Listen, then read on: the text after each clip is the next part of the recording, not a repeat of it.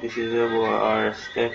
Today I'm going to show you how to activate your super administrator account in Windows 7, 8, 8.1 and Windows 10.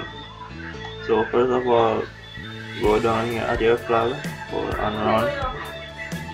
So here you're going to type in this here I'm going to put it in the description so after typing in that there go ahead and run.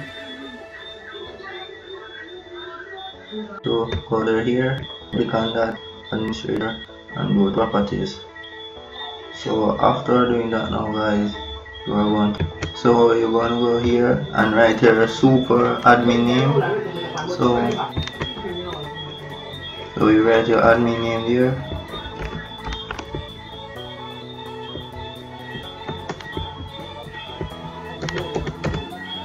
so you are going to disable that and go and ok.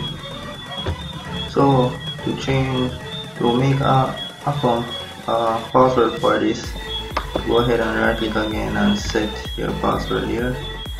So you go and proceed and here you will right type your password and confirm and then select ok.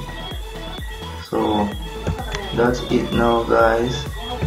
You are done. Now you can switch between accounts by logging off from the current account you have logged in.